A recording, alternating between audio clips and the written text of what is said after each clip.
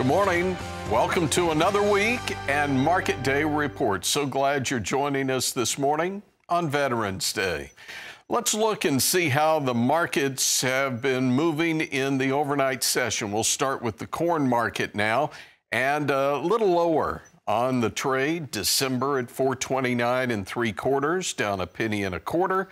Penny three quarters lower on the first 2025 contract, the March contract, but again, still part of what we would consider the old crop, part of what we've harvested already at 442 and a half. What about soybeans in the overnight session? Well, we've watched a rally with November up nine, 1025 and three quarters, January four and three quarter cents higher, 1035 on a market that's rallied 3.8% week over week. Now to the wheat markets. And double digit losses. July Chicago down 12 at 593 a bushel. Hard red, July 585 and three quarters, down nine and three quarters.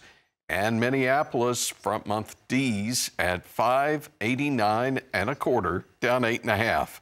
Cotton market in New York, 70.48 on the December, lost a half a penny with March down 59, 72, 66. All right, let's go to Springfield, Missouri. That's where we find the president, Midwest Market Solutions, Brian Hoops. Brian, what are you watching this morning? Hey, good morning, Tony. Hope everyone had a great weekend and happy Veterans Day out there. Very uh, important holiday in our nation's history, of course. And we look at, you know, we do have normal trading hours today, normal trade overnight. Just the changes will be their government offices are closed, banks are closed, so you don't have to worry about those margin calls today. Uh, no crop progress report this afternoon. There won't be export inspections today. And since the government's closed, there wasn't any private export sale announcements. Those will be delayed until, you know, tomorrow if there is any. So what we saw overnight was kind of a lack of follow through in both the corn and the soybeans. Soybeans did try and rally and they could not take out Friday's highs, so they're settling middle of the range. The corn market never really tried to rally. Wheat, in fact, took out Friday's lows and uh, continued to push lower on good growing conditions here in the U.S., improving conditions, in fact, plus um, lack of really any strong export business. Now, one of the keys that you, when you have a big report like we did on Friday, one of the keys going forward is can you get follow through on that? Will, will, is there enough buying momentum to push us higher? And so far, there hasn't been in corn and soybeans. So corn charts look like a potential double top on the 434 area that needs to be negated.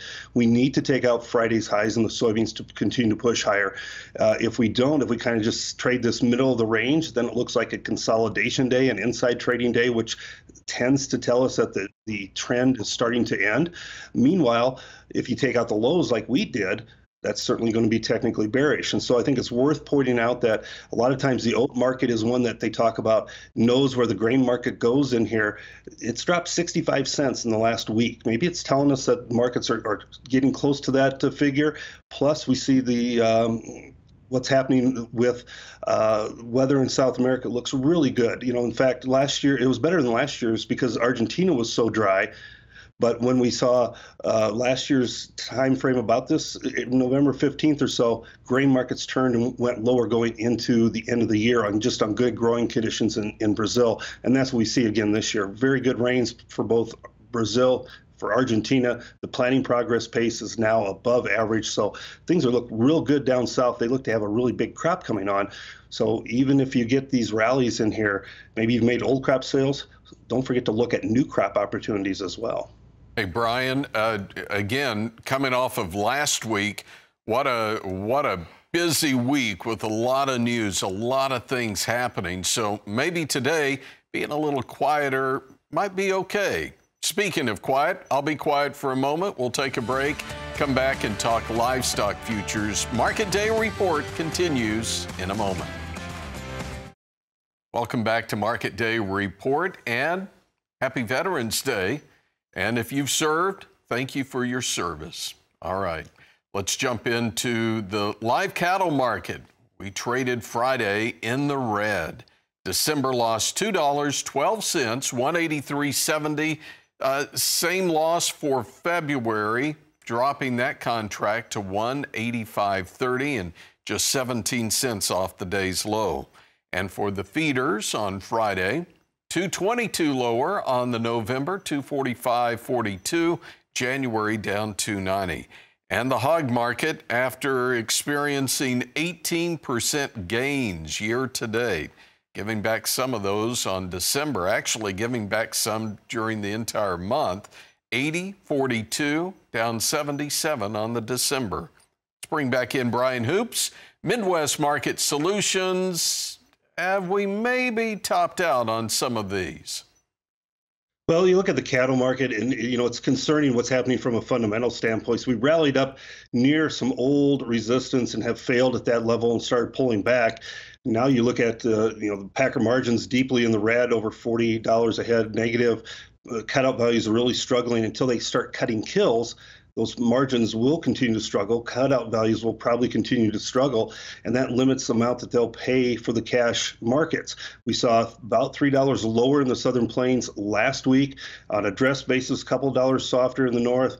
Uh, so the cash market's looking weak, maybe steady at best this week, but probably going to see an, another softer type trade unless the futures market can really stage some sort of a, a rebound. But with the Packers uh, struggling in here, feedlots probably hedge. They're probably willing to take a, a dollar less and take off some of those hedges and, and uh, add that to their cash markets.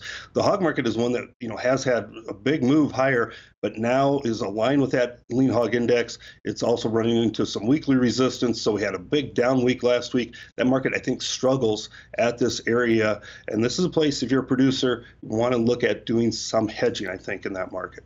All right, and that all comes as uh, we're watching what happens in China. New loans in China falling to a 15 year low. So, definitely concerns across the pond. Hey, Brian, thanks for popping in today. We'll see you back here on Wednesday. Brian Hoops with Midwest Market Solutions.